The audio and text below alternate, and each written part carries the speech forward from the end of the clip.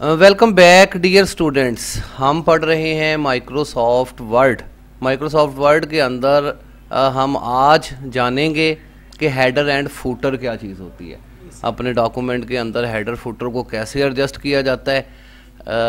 Header and footer अगर आप uh, यहाँ पेज पर देखें uh, यहाँ कुछ तहरीर लिख लेते हैं. तहरीर लिखने के लिए मैं फार्मूला टाइप करता हूँ और यहाँ पर हम कुछ तहरीर लिख लेते हैं, दो तीन पेजेस पर मुश्तमल। ये हमने एक तहरीर लिखी हुई है। अगर आप इसके ऊपर देखें टॉप वाले एरिए को तो ये एरिया आपको खाली नज़र आ रहा है। अगर हमने किसी कंपनी का हेडर या किसी कंपनी के लिए हमने काम किया हुआ है, अब कंपनी कहती है, काम बिल्कुल ठीक है जनाब, लेकिन यहाँ ऊपर आप हमारा नाम लिख दें हर पेज पर, या फिर नीचे जो है वो एड्रेस लिख दें हर पेज पे, जैसे कि अमूमन लेटर पैड होता है। अंदर अंदर हमारी तहरीर होगी अदारे इनको तब्दील करते रहते हैं, दरमियानी तहरीर को एक्सपीरियंस लेटर हो सकता है और चीज़ें हो सकती हैं। अदनान, आ जाओ बेटा, आप भी आ जाओ। अगर आप ध्यान से यार सुने, ये तो आपके काम की चीज़ें आप तो बैठे लाजमी आके। अगर आप हेडर तय करना चाहते हैं अपने डॉक्यूमेंट का, ये आप पहले भी तय कर सकते हैं, तहरीर लिखने के बाद भी रख सकते हैं। याद रहे कि एक दफ़ा हेडर के अंदर आप जो तहरीर लिखेंगे, वो तमाम पेजेस के ऊपर ऑटोमेटिकली अप्लाई हो जाएगी। इसी तरह फूटर होगा। यहाँ पर फ़र्ज़ करेंगे ये सारे पेजेस पर हमें बार बार जो है वो लिखने की ज़रूरत नहीं है। फिर नॉर्मल तरीके से आप लिखेंगे। यहाँ बॉक्स बना लें। बॉक्स बनाना भी हम आगे देखेंगे। बॉक्स बना लें और फिर लहदा लहदा लिखें अगर मुख्तलिफ़ तहरीरें लिखनी है। अगर तो लिखेंगे तो फिर सब पे आ जाएगा। नहीं अगर तो आप हेडर में जाके काम करेंगे मास्टर पेज में जाके काम करेंगे अभी जैसे मैं करने लगा हूँ तब आएगा। ये अपने ध्यान से समझ लेनी है चीज़ें। अब यहाँ पर हमें जो है वो कंपनी चाहती है कि यहाँ पर हमारी कंपनी का नाम लिखा जाए प्राइम कंप्यूटर कॉलेज और सिर्फ़ एक पेज पे नहीं सारे पेजेस पर लिखा जाए। तो ऐसी सूरत हाल के अंदर इसके दो तरीके होते हैं। नॉर्मली हम लोग क्या करते हैं यहाँ से हमारी तहरीर शुरू होती है हम इसके ऊपर जाकर डबल क्लिक कर देते हैं। थोड़ा सा खाली जगह पे। ये बिल्कुल खाली एरिया है।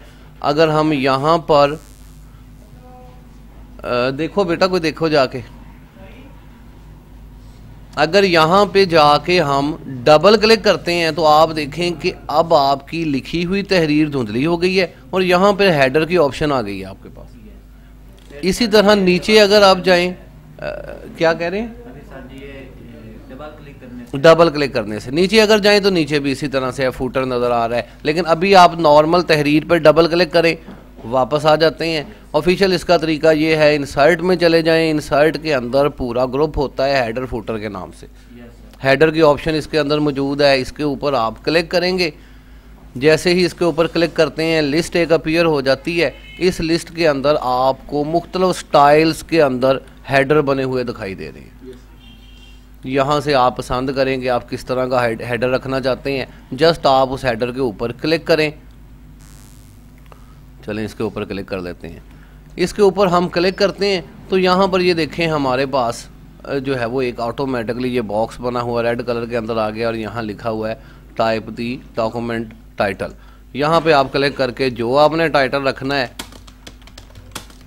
मैं प्राइम कंप्यूटर कॉलेज रख देता हूँ। इसको आप दोबारा से बड़ा छोटा कर सकते हैं। जैसे ही हेडर आपके पास आया है हेडर का डिज़ाइनिंग टैब भी यहाँ पर ओपन हो चुका है, जिसके अंदर भी मुख्तलफ ऑप्शंस मौजूद होती हैं।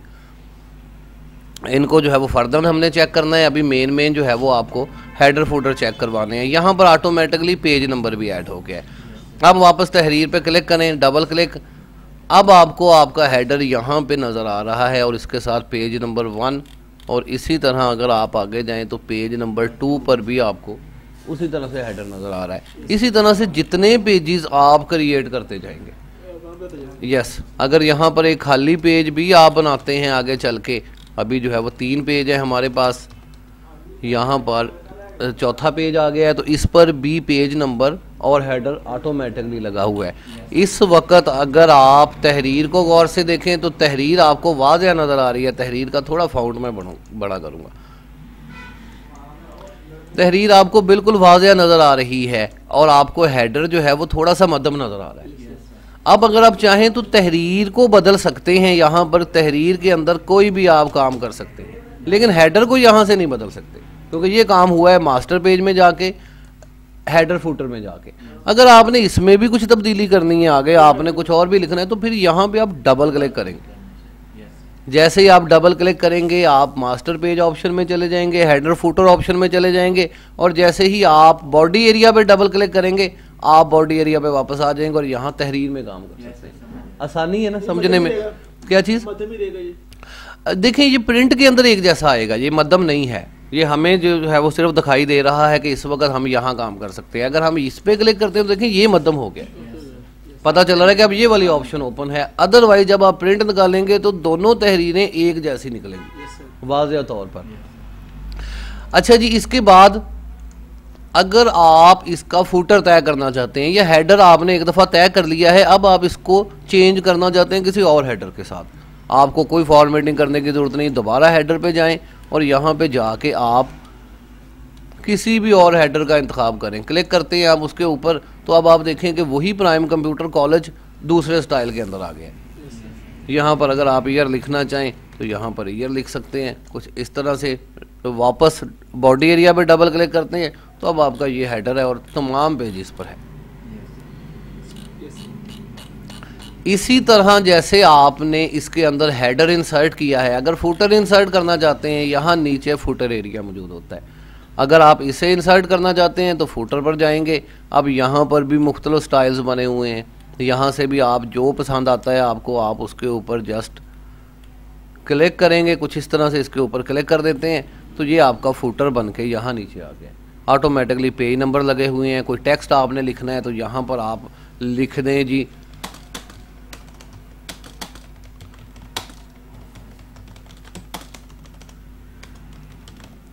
जी एम आबाद फैसलाबाद पाकिस्तान भी लिख देते हैं। पाकिस्तान। ये हमारा फूटर भी तय हो गया है। अगर हम वापस बॉडी एरिया पे क्लिक करते हैं तो अब आप देखेंगे कि हेडर भी हमने तय कर लिया है और फूटर भी तय कर लिया है और इसी तरह ये तमाम जो है वो हमारे पेजेस पर आ गया है। जब हम कोई किताब लिखते हैं कोई रसाला तैयार करते हैं कोई किताबचा तैयार करते हैं जिसमें ज़्यादा पेजेस होते हैं तो फिर बजाय कि हम पेज नंबर इस तरह से लगाने के या हेडर फुटर इस तरह से बार बार हर पेज पे लगाने के हम यहाँ जाके काम करते हैं। हेडर ऊपर वाली साइड पे अपियर होने वाली चीज़ हेडर कहलाती है और जो है वो नीचे दिखाई देने वाली ये फुटर है और दरमियानी एरिया जो है ये बॉडी एरिया है। यहाँ पर। तो इन तीनों को आप याद रखेंगे। आपसे पूछे कि हेडर क्या है तो पेज की टॉप वाली साइड हेडर कहलाती है। यस हेड बिल्कुल ऐसे ही। अब अगर आप पेज को गौर से देखें ना डियर स्टूडेंट्स मैं आपको पेज वन पेज दिखाता हूँ ज़रा। कुछ इस तरह से। ये आपको वन पेज नज़र आ रहा है ये एक इसी तरह से है जैसे एक आदमी खड़ा हुआ है। Yes, यहाँ पर उसका सर नज़र आ रहा है जिसे हेडर कह रहे हैं। ये उसका बॉडी एरिया नज़र आ रहा है ये उसका फुटर है पाँव। Yes, ये जो खाली एरिया नज़र आता है ये इसके आप बाजू कह सकते हैं। हम जब वेबसाइट्स बनाते हैं तो इन पर बड़ा काम होता है ये वाले साइड पर। अभी पेज में तो इतना काम नहीं होता लेकिन जब हम वेबसाइट्स के अंदर नज़र आ रहे हैं तो वेबसाइट के अंदर भी हेडर इसी तरह से है फूटर इसी तरह से है बॉडी एरिया है जिसमें पोस्टें चेंज होती हैं और ये आपकी स्लाइड्स हैं जिनके अंदर हम आपकी जो है वो और लिखाई मौजूद है तस्वीरें लगी हुई मौजूद हैं। तो ये सारी चीज़ें इसी तरह से आप डिफाइन करेंगे। क्लियर हो गया? अच्छा हेडर फूटर जहाँ से आपने इसके अंदर अपीयर किया था, अगर आपने जो है वो हेडर फूटर इसमें लगा लिया है, आप चाहते हैं कि हेडर फूटर जो है वो इसमें जो है वो हटा दिया जाए, यहाँ से ख़त्म किया जाए तो फिर वही ऑप्शन है, आप हेडर ख़त्म करने के लिए उसके ऊपर क्लिक करेंगे, और यहाँ से एडिट हेडर की भी ऑप्शन मौजूद है, और रिमूव हेडर की ऑप्शन भी मौजूद है। रिमूव के ऊपर क्लिक करते हैं तो हेडर यहाँ से ख़त्म हो जाता है। इसी तरह से अगर आप फूटर ख़त्म करना चाहते हैं तो फिर फूटर को भी यहाँ से हम रिमूव कर सकते हैं। क्लियर है ठीक है जी। अच्छा जी इसके बाद अगर आगे देखें तो यहाँ पर पेज नंबर की ऑप्शन भी मौजूद है। अमूमन तो क्या होता है पेज नंबर ऑटोमेटिकली इस पर जो है वो लग जाते हैं। अच्छा पेज नंबर पर अलहदा हम जो है वो बनाते हैं। यहाँ हेडर फुटर की आपको समझ लगी है? Yes, चलें ठीक है। एक और पार्ट बना लेते हैं उसमें ज़रा डिटेल से पेज नंबर को देख लेते हैं। यहाँ तक कोई क्वेश्चन है हेडर को समझने में फुटर को समझने में सीधे सीधे स्टाइल इनमें लगे हुए हैं कोई करने वाला काम नहीं। हाँ ये सीखने वाला काम है कि आप इनमें से कोई भी नहीं बनाना चाहते। अमूमन हम प्रोफेशनल लोग इनमें से कुछ भी इस्तेमाल नहीं करते। यहाँ पर मैं आपको बताता जाऊँ कि ये वाले सारे तो देखे हुए हैं लोगों ने बने हुए हैं। तो हेडर बनाने के लिए हम लोग क्या करते हैं? हम जाके जो है वो सीधा यहाँ पे डबल क्लिक करते हैं। जब हमने हेडर को तैयार करना है हम यहाँ पे डबल क्लिक करते हैं।